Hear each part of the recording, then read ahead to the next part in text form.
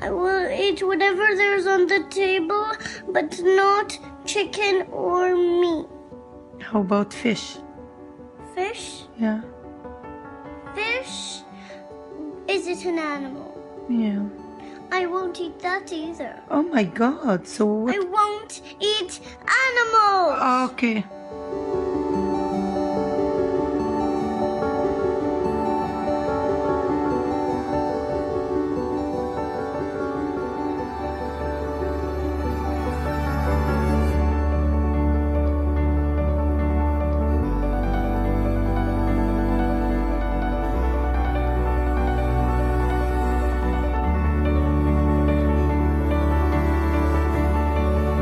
Give your children the best a cruelty free childhood.